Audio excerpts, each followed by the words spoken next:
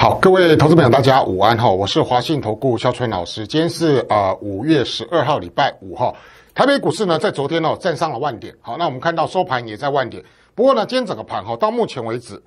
它是小跌了十四点左右哈，那当然涨多呢这地方稍微有一点点的区间，我觉得这是合理的现象。不过呢这个盘来到万点的时候，我敢说这一波啊很多投资朋友。没有什么兴奋的感觉，因为呢，台北股市呢，在这波整个万点的走势里面，它就以三档股票为主哈。大家都知道，台积电、红海跟大立光，可是呢，能够有这三档股票的投资们并不多哈。因为一般投资朋友大部分都是做一些比较属于中小型的个股，所以呢，中小型的股票呢，反而在这波的上万点的时候呢，它压力更重好，所以呢，会造成很多投资朋友在这个时间点呢，持股呢看到指数在涨，因为什么股票都没有动好。那到底台北股市呢，来到这个时间点的时候？后面的行情该怎么去规划？到底呢？一些比较弱势的个股，这地方有没有机会来到万点之后呢？它有机会呢？这地方啊出现一个比较明显的一个攻击。好，那我们先跟各位讲答案哈。我我是建议了哈，投资者在这个万点之际啊，那目前的这种区间盘局里面啊，呃，尽量还是把持股呢稍微去做一个调整。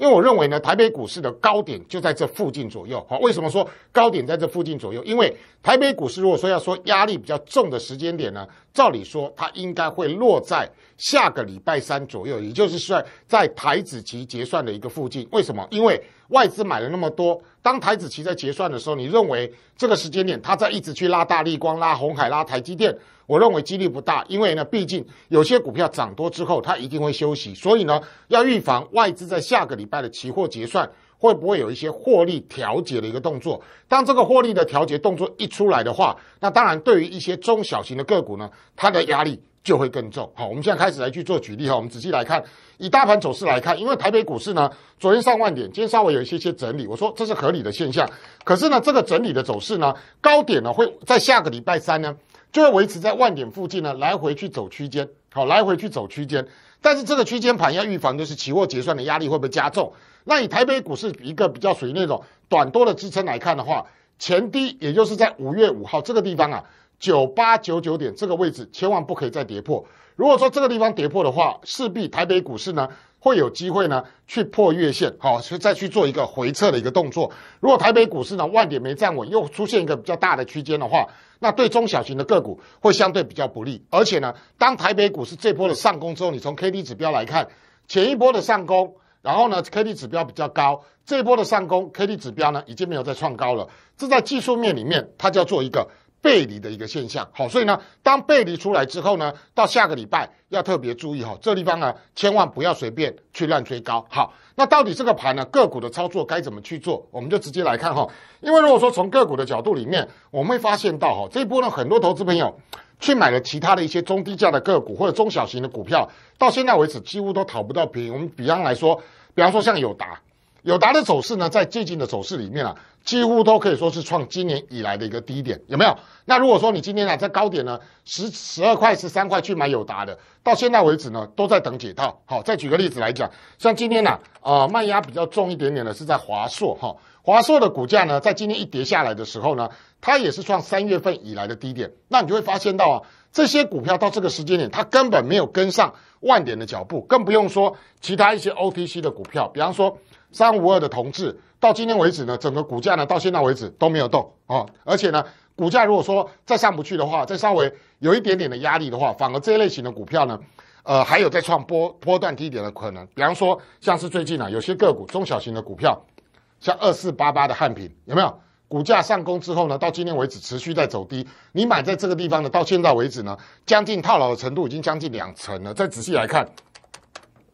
二四六四的蒙利也是一样。到现在为止呢，都是持续在走低。好，所以呢，这些股票可能要稍微注意一下哈。一些比较属于偏中低价的一些个股呢，到这个时间点，它的一个弱势的表现，它并没有改变。但是你会说，老师，那到底这个盘，我现在怎么去切入到多方的一个操作？举个例子来讲哈，之前呢，我们在四月底的时候跟大家预告什么？游戏软体的股票，比方说四月底的时候，网龙的位置在这地方，你会发现它就是先走一个波段，有没有？再举个来说，比方说五四七八的智冠。当初呢，也是在差不多四月底五月初的时候，这一波呢，到目前为止你都会发现到，到昨天都还在创新高。好，但是呢，这些股票我们在高档的时候，我们有获利去做调节的动作。然后呢，我们把资金移转到哪里？各位仔细来看哈，像一五三六的核大，当初第一根起涨的时候呢，这个地方我们就进场去买。到今天核大的股价继续在往上攻，所以你就会发现啊，这些比较属于整理低位阶的股票，在这个时间点，它慢慢的去走出它自己的路。所以你要去买股票呢，你最起码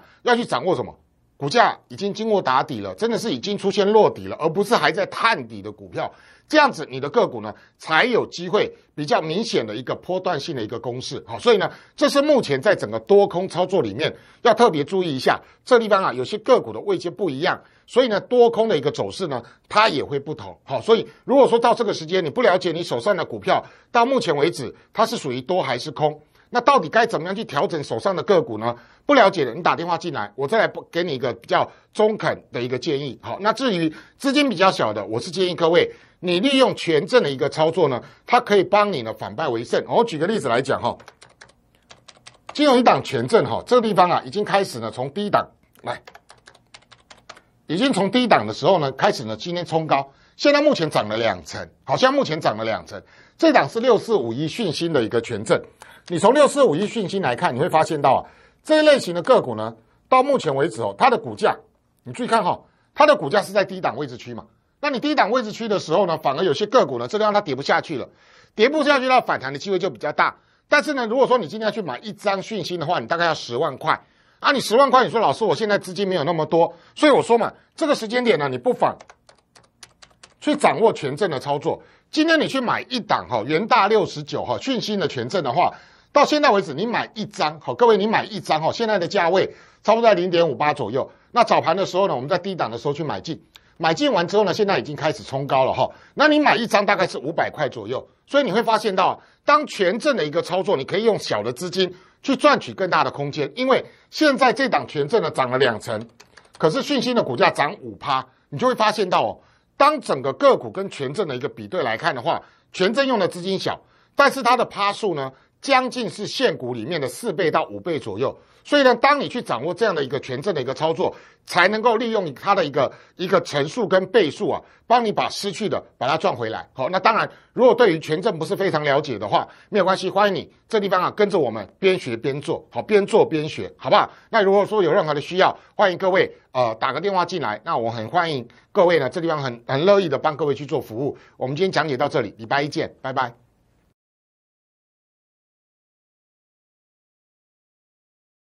本公司以往之绩效不保证未来获利，且与所推荐分析之个别有价证券无不当之财务利益关系。本节目资料仅供参考，投资人应独立判断、审慎评估并自负投资风险。